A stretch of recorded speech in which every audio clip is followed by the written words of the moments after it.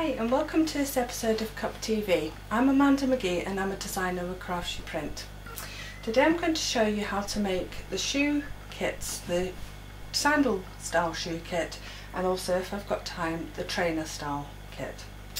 Right, firstly the one that you saw first of all is one that I've made up and that's the Hearts and Flowers Baby Girl Shoe Kit which is cup number 127739 underscore 56. So I'm going to show you how to make this style first of all. So the particular one I'm going to use for this demonstration is actually a different one. Zoo Animals Baby Shoe Kit with box and it's cup number 128009 underscore 56. Now when you've purchased the kit um, and downloaded it you print off the, the sheets. There's three sheets in the kit there's the shoe part, the box lid and the box base. So first thing you need to do is print them off and cut the elements out. So I've already done that. So I've got the these all cut out, ready to go. So firstly what you need to do is you need to score all your parts so I've already scored them, the box, lid and base and also the shoe. And then all you do is you fold your tabs down. So that's what I'm going to do just now, is just fold them over like so. Now I'm going to get myself all glued up here because I always do. And if my glue runs out, I might have to go for another glue or something else because I'm a bit short of glue. Anyway, what you need to do is take one of the soles. They're both the same size, so it doesn't really matter which one. And work out the centre of the sole, approximately the centre of the sole. I tend to do, I tend to prefer to do, is actually put the glue onto the sole rather than trying to put onto individual tabs. This is where I'm going to get all sticky. So just some clear glue, round shoe, sole,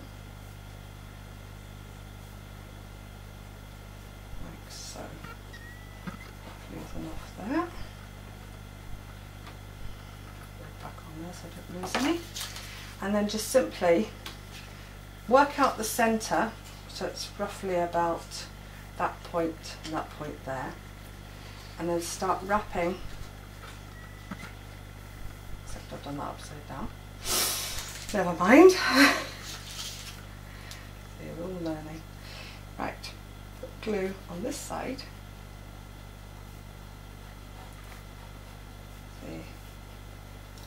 Just make slight mistakes once in a while. Doesn't matter. Right. I won't see that part because it's on the inside anyway. So, right. Now, turn this over and just taking each individual tab and just curling it round, stick it round the shoe.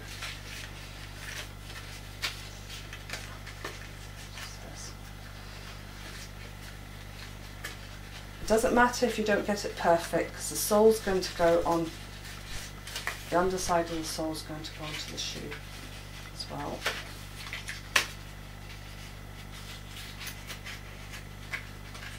You may need to add a little bit more glue at this point, but just basically bring it round. I tend to like to put it flat onto the table at this point just to fit it in and then get this part here right the way around. I don't quite have enough glue underneath there, so just put a bit more glue on. And then just stick that round here, like so. And just hold that in. And then at this point, this part here, you need to stick here. So I will put a little bit of glue open it open. Get a little blob, of glue there, put this background and then just put it up here like so. And just hold it for a couple of seconds it sticks. Like so. It looks a bit messy underneath, but that won't matter so much. And there's a couple of bits that haven't stuck, but that's okay, because once the salt goes on, it'll take a lot more time than what I've got.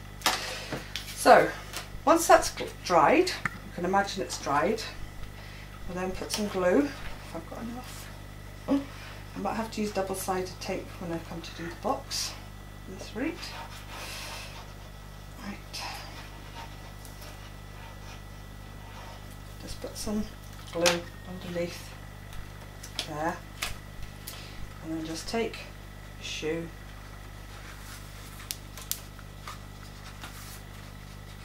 place.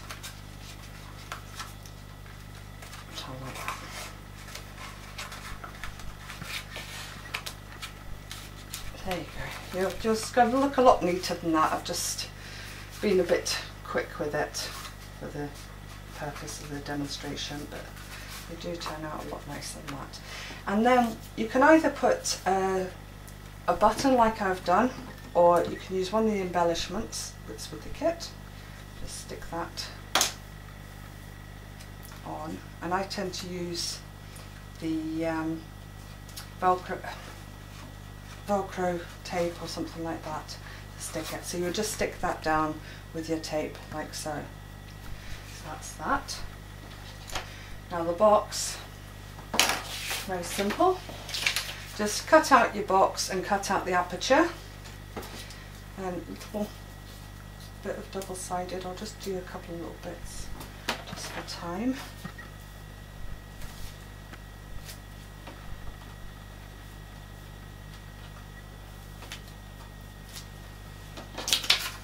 And then just put your acetate on, like so. And then I've scored already the long box so I just fold like so and fold these parts in just a simple way of making a box. And then my tip what I always do once I've glued it if I'm using glue of course which I've run out of. I use a bit of double-sided if you're using wet glue I always find the best thing to use is paper clips because it holds it steady while you're doing it. So anyway, you know the rest of how to make a box. I won't bore you with how to put a box together, but basically you put the box together like so, and your box turns out like that. Shoot. Um, finally there's a trainer kit and I'll just quickly give you a quick show of how to do that. Same again, you just curl it a little bit, find your centre and then put that part together.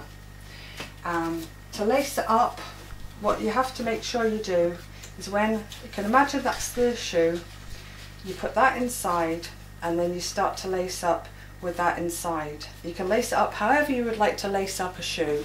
You can lace it up just just like that basically.